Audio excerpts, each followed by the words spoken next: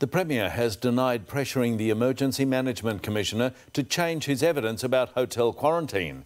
As Brett McLeod reports, Andrew Crisp has made a major U turn about what he told Emergency Services Minister Lisa Neville.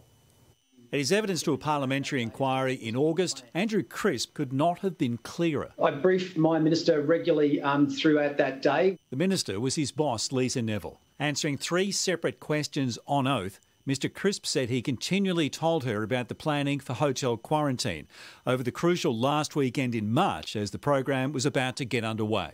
But now Andrew Crisp's evidence has been contradicted by Andrew Crisp. He's written to the committee wanting to amend his record of evidence, now saying he did not brief the minister that weekend about what was being planned.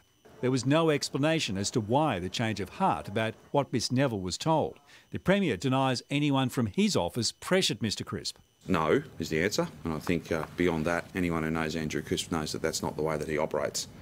Uh, he's made a statement, it's under his signature on his letterhead. Mr Crisp released a statement this afternoon saying, This is a decision I've taken alone and it was not discussed with government ministers or their officers.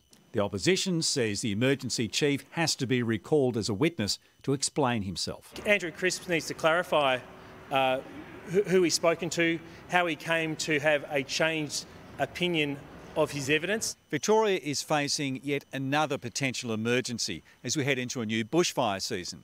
So, does the government believe Andrew Crisp is the right person to lead the response? I've no reason to think that he uh, wouldn't be. He'll be he'll be doing as he did last summer, uh, the outstanding job that Victorians know he's capable of and know that he's critical to. Continuing to put out spot fires.